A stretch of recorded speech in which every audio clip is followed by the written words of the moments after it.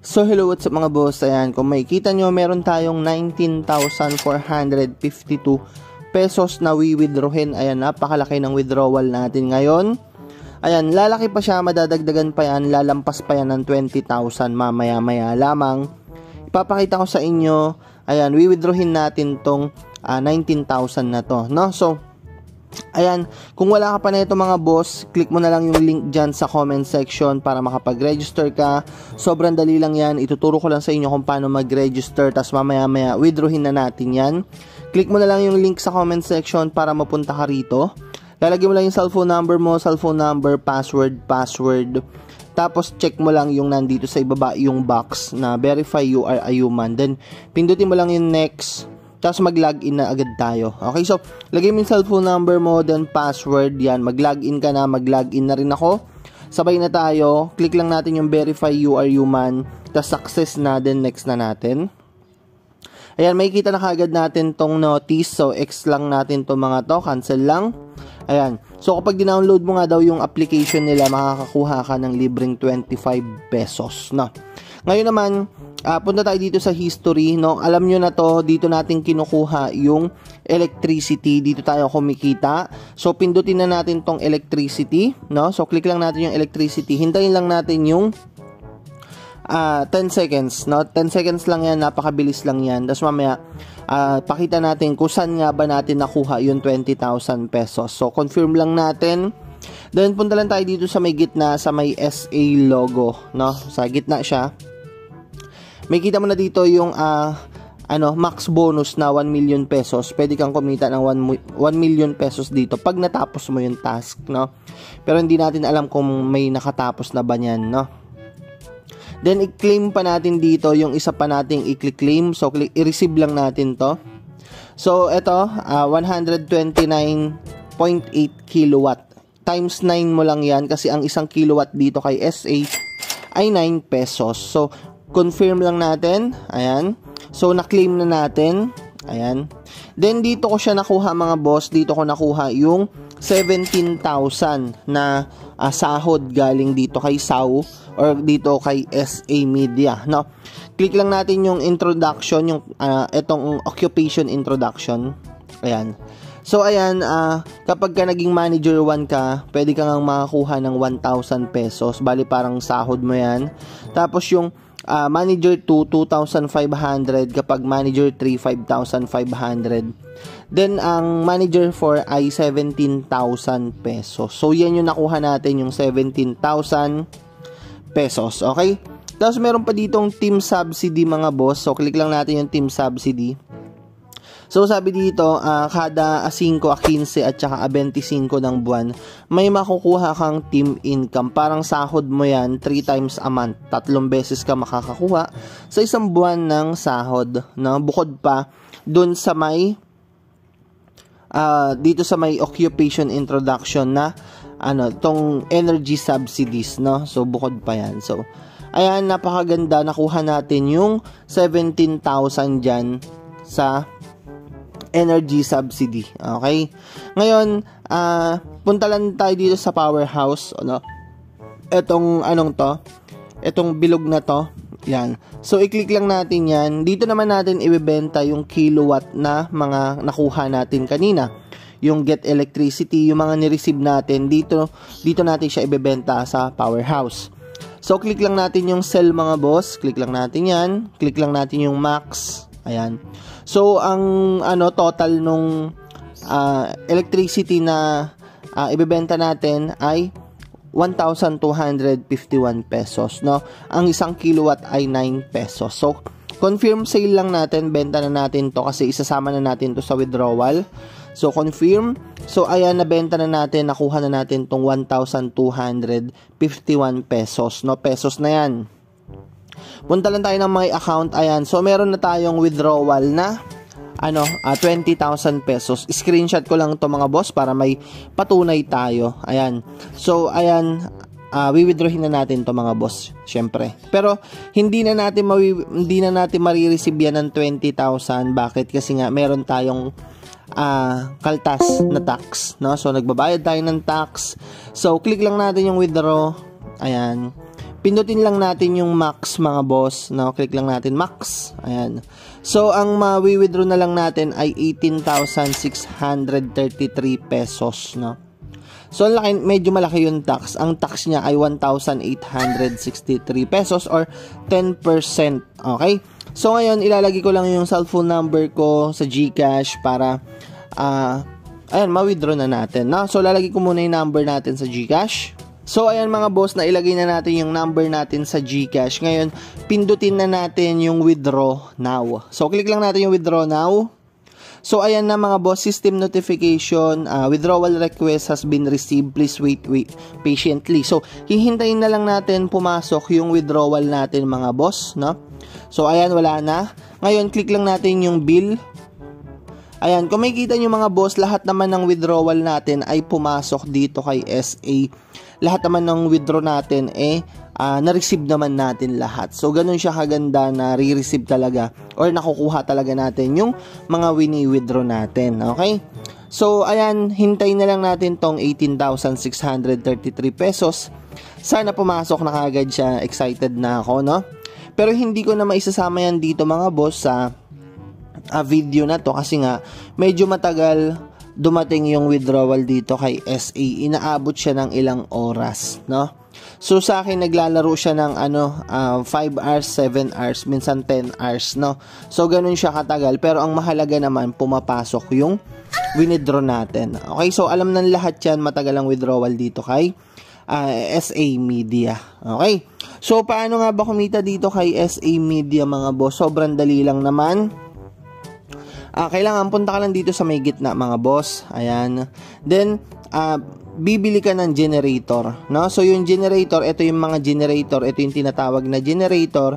Ito yung magpro-produce ng pera para sa iyo para kahit wala ka nang uh, gawin eh pwede kang kumita ng pera kahit nasa bahay ka lang, gamit mo cellphone lang. So napakaganda, 'di ba? So paano nga ba? Paano nga ba gumagana tong mga to, no?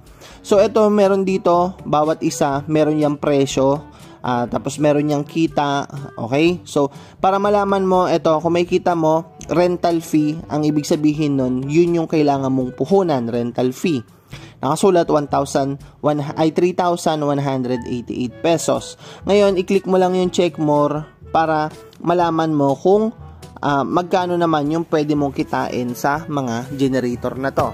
Okay? So, meron ditong tag 3,188, meron tag 6,000, merong Uh, eto sayang maganda sana tong sale mga boss kahapon to itong sale eh. Uh, 1,888 lang siya. Tapos sold out agad ang bilis niya maubos no. Meron pa dito tag 2,000 no. I-check more lang i-check more niyo lang mga boss. I-click niyo lang yung check more no. So ito naka-sale din to 21st year sale, no? So, ang presyo niya 2,188 pesos. Click mo lang yung check more. Ayan. So, sabi rito na ang 2,188 pesos mo, pwede siyang kumita ng 65,718 pesos, no?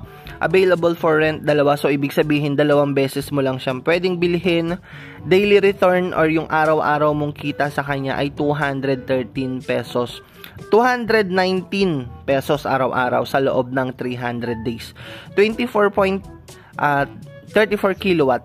Yung kilowatt, uh, ano yan, i-times mo lang yan sa uh, ah, 9 pesos, no? Bawat isang kilowatt, 9 pesos. So, 24 times uh, 9 pesos, ganun. Then, kung gusto mo siyang bilhin, click mo lang yung rental generator, no? Then, hanap pa tayo dito sa iba Ayan. So, meron pa dito nag 4,000. Pero kung wala ka namang budget, yung sakto lang, gusto mo lang magpalago ng pera, uh, meron dito tag 500 pesos. Click mo lang yung check more. Yung 500 pesos mo nga daw, pwedeng kumita ng uh, ah, 12,960 pesos. Araw-araw makakatanggap ka ng 54 pesos sa loob ng 240 days. Araw-araw makakatanggap ka ng 6 kilowatt. So, rental generator, click mo lang yan kung gusto mong bilhin. Then scroll pa natin sa baba, yun yung pinakamura, 500 pesos. Meron pa dito tag 1,000 pesos. Now click nga natin yung 1,000 pesos.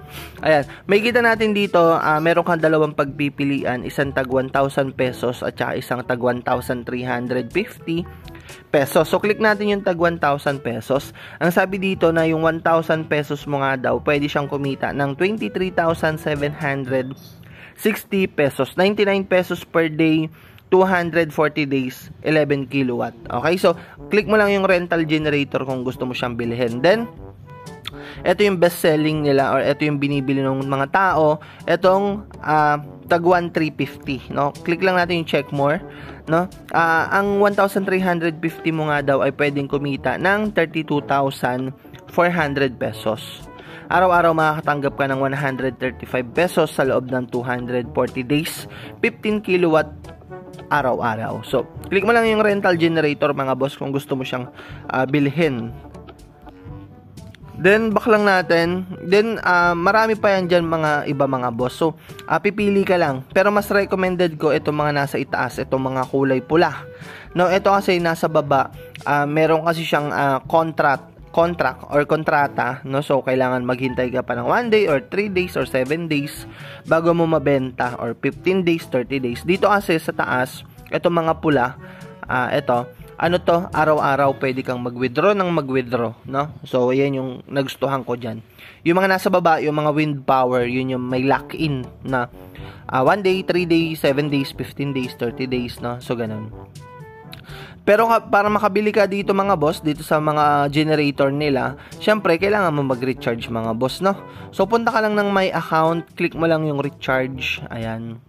Then ilalagay mo lang dito kung magkano yung gusto mong i-recharge. Kung gusto mo yung bilihin yung tag 500, lagay mo 500.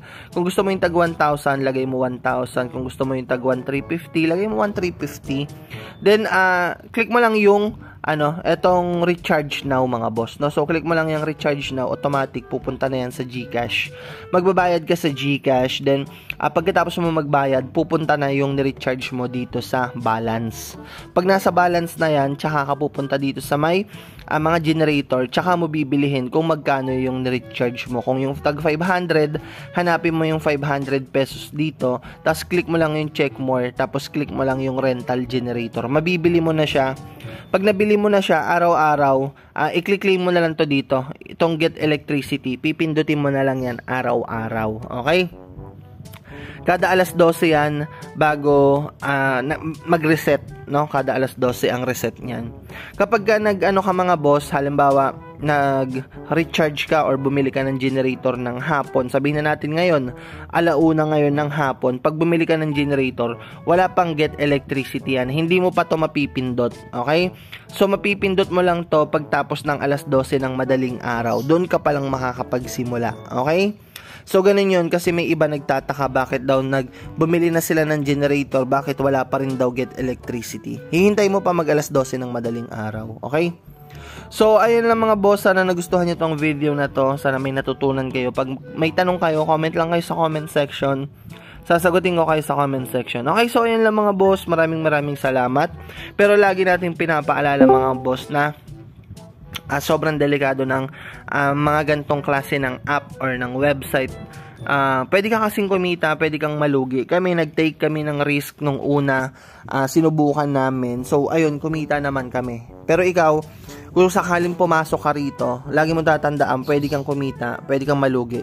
No, hindi natin alam kung kailan tatagal yung mga ganitong klase ng website. Pero sa ngayon, uh, medyo matagal na to, tong website na to. Kaya, uh, yung mga sumali talaga nung unang nilabas natin tong uh, video na to, lahat sila sumahod na. Okay? Pero ano mga boss, kung maglalagay ka dito ng uh, kung maglalagay ka rito kay SA Media, ano, uh, wag kang wag wag yung ano, alam mo 'yon, extra money lang, wag yung last money, no? Pag last money kasi, bili ka na lang ng ano, kailangan. Halimbawa, uh, bili mo na lang ng bigas, o ulam, o kaya gatas, kung ano yung kailangan, 'di ba?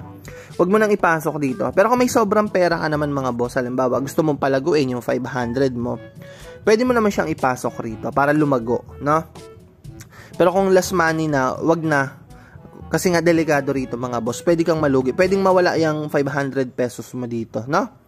So, lagi naman natin pinapaalala yan. Tapos, do sa mga kumita na mga boss, halimbawa yung mga sumali rito, marami nagko-comment na sumali dito na kumita na sila, nagwi-withdraw na sila, ayan, araw-araw nakaka-withdraw na sila. Uh, wag wag tayo mag-all in. Hindi uh, hindi porke nakasahod ka, ipapasok mo na lahat ng uh, pinagkakakitaan mo, lahat ng pera mo dito. Wag wag 'yun, maling-mali 'yun. Wag niyo i-all in mga boss, no? So, okay na yung naglagay kayo ng ano, uh, maliit na amount lang. Huwag nyong isasagad. Sobrang delikado. Okay? So, ayun lang mga boss. Sana gusto nyo tong video na to. Sana may natutunan kayo. So, ayun lang. God bless.